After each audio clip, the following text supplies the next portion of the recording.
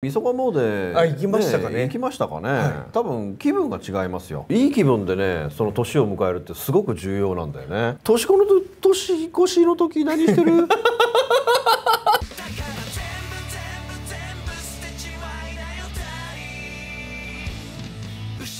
ことは手に入れること感じて過去じゃない今今今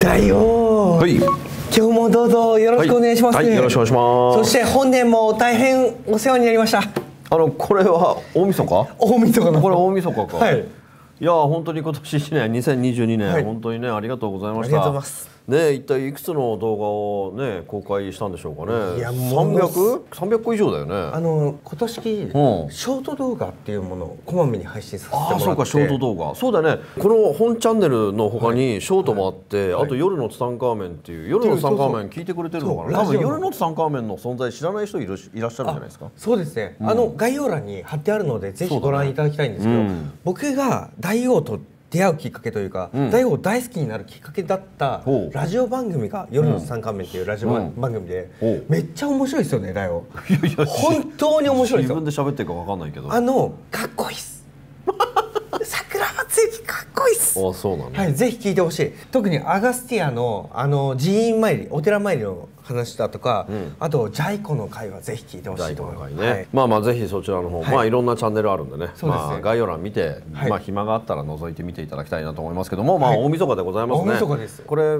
夜配信だからもう、はい。これ見るのきっともう年明けてからだなそうですね。ちょっと配信時間早めようかな、あそうですね、はい。早めた方がいいんじゃないですか？あの夜って結構テレビ番組詰まってるじゃないですか。あ詰まってるね。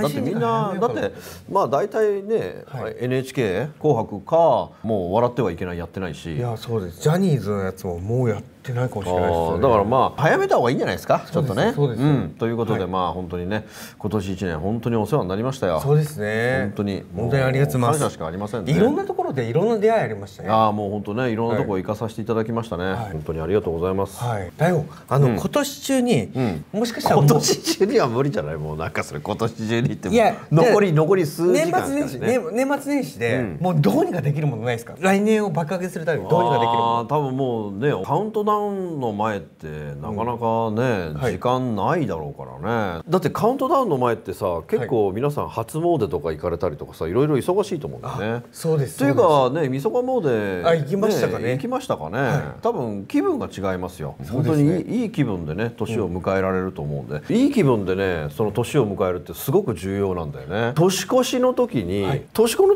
年越しの時何してる？年越し何してる年越し？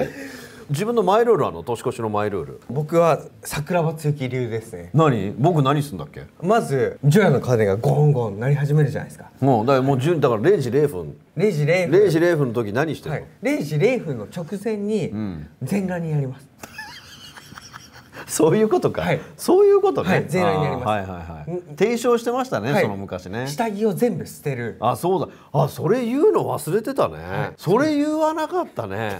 僕やってます。これ言わないから誰も用意してないよ。あ本当ですか？もうこれ昼頃配信した方がいいんじゃないの？昼頃配信買いに行けないですね。買いに行けないからはい。昼配信じゃないの、はいこれ。はいそうです。そうだからもう新年ははい。絶対的にはい。全てオールニューではい。そうですそうです。行ってほしいね。下着靴下全捨てえだから靴下はい。パンツパンツ。肌着はいはもう全部新しいので、うん。おニューで1月1日から過ごしてほしい、うん。だからできればねパジャマもはい。新しいのいっちゃったらどうかね、ああいいっすね。うん。あ気持ちいいと思います。いやすごい気持ちいいよ、はい。うん、ヒロ君よりいい気持ちになれると思うからだから本当にねその今これ多分これ昼昼配信してるでしょ？あ昼だからヒロ君えちょっと黙ってくれる？あすいません。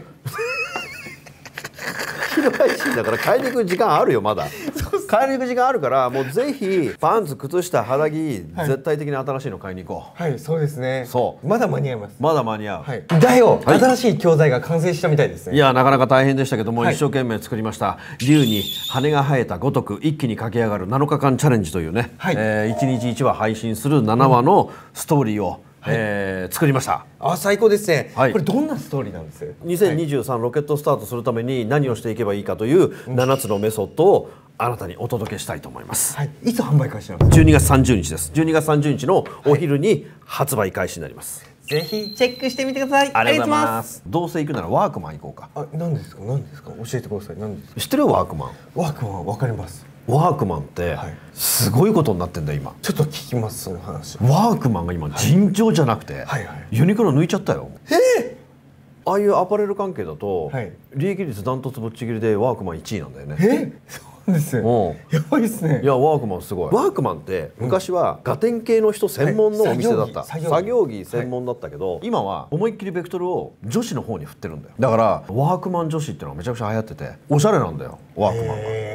へものすごいおしゃれに舵を切って経営スタイルがものすごい頭いいんだよなあそこの会社ってね。そうなんですよ。そう。だから、はい。あの利益率めっちゃ高いんだよね。あそう。だよあのワークマンと、あとワークマンプラスっていう。ワークマンプラスが女子だよ。あそうですよね、ん。ワークマンプラスとワークマン、扱ってる商品同じなんですよ。なんか入ったことないか分かあんないけのど、うん、展示の仕方を変えてる。ああ展示の仕方をね。じゃあプラスの方がおしゃれにしてるとプラスの方がおしゃれにしてうんるそれがすごくないですよ。なんか同じ商品を扱ってるのに、見せ方を変えるだけで利益が倍になってるみたいいやーもう素晴らしいよね。だから、もうワークマンでも何でもいいからもうとにかく買いに行こう、なあそうですね。でもワークマンパンツすごそうな感じしますね、なんか。まあできれば化学繊維じゃないやつをねあはい。選んでいただきたいんですけどもね。この番組見てる方はできればやってほしいけど、はい。やっぱり0時0分は全裸で越す。あそうですね。全裸でこす。全裸で越して、はい。で越したら新しいパンツ、靴下、今年もよろしくねって言って。そうそうそうそう。そのスタイルがいいよね。そうですだからもう1月1日からもうはい。新しい自分だから、もうニューエラーだよ、ニューエラー。う。帽子のメーカーですね。ニューエラー。もう新しい時代だよ、新しい時代だから、でもそういう風に演出していくのって絶対大事なんだよ、そうですね。そう要するにいい気分だよ、だって新しいのって気分いいからね。そうですそうです。靴下パンツ肌着そして、えーパジャマ全部新しいのにしたらめっちゃ気分いいよ、そうですね。そう。でついでに枕カバーも新しいのにする、ああ枕カバー、うん。そうですね。じゃあ買いに行く時間あるよまだ。布団シーツとかも変えいやもうできればね新しいのいっちゃってほしいよね。そうですよね。うんえめっちゃいいですね。これベテランの桜庭つゆきもう2年3年見てますっていう方は、多分用意されてる方多いと思うんですよ、うんうん。でも今年初めて知った方はやっぱり準備ができてないと思うので。一番大事なのは準備だからね。そうですね。うん、本当にこの準備。そして僕の場合これはね、はい。もうマイルール。楽しみにしてるのは、もう1月1日の朝夢見るかどうかなんだよ。いやみんなほら、初夢ってさ、はい。1月2日から言うじゃん。言います。僕のスタイルはそんなんじゃないんだよね、はい。1月1日の朝その年の象徴する夢を自分で絶対見るって決めるんだ。寝る前にもう絶対もうだ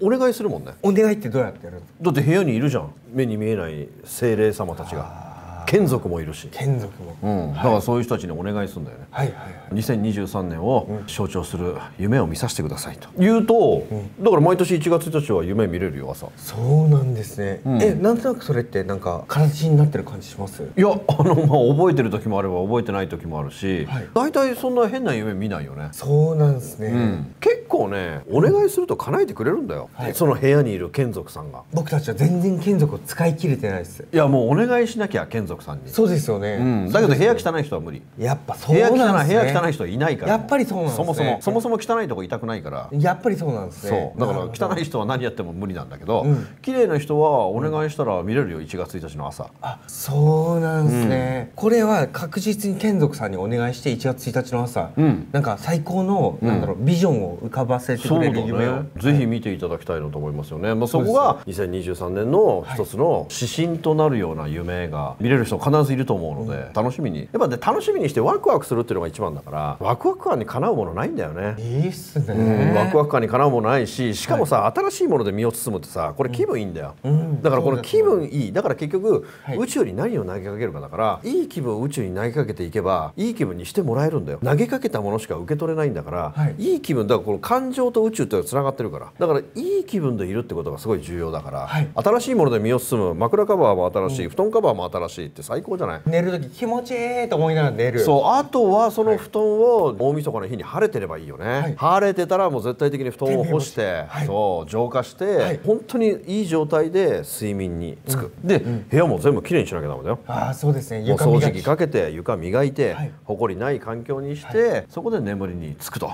そしたら1 1月1日の朝面白い夢見るよ、いや最高っすうね、ん、だからこんなこと言って、はい。ワクワクするじゃない、はいワクワクします。それ本当かなでもちょっとやってみようかなと思ってさ、やってみたら面白いことがだから結局ワクワク感だからこう2023年の一つのテーマとして、ワクワク感を持続できるかってとこだよ。そうなんですね。ワクワクの持続。このワクワクしてる気持ちを持続させるってこと、そしていい気分を常に投げかけるってこと。イエスもうこれを持っていけば、はい。2023年いいロケットスタートが切れるんじゃないのかなと思いますよね。いや最高ですだよ、ん。これはぜひこのご覧の皆さんも全員やってほしい、いやーやってほしいね、はい。絶対面白いこと起きると思うよ。そうですね。そうワクワク感を持って実践してみる、これがもう何よりでございます、ありがとうございます。ということで来年もどうぞ よろしくお願いします。いやーもう本当にね今年1年お世話になりました。お世話になりました。また来年何卒よろしくお願いいたします。お願いします。ありがとうございました。良いお年を。良いお年をお過ごしください。ありがとうございます。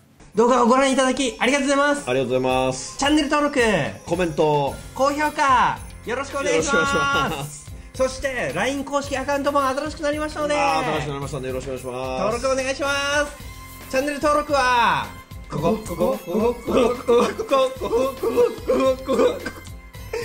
楽しい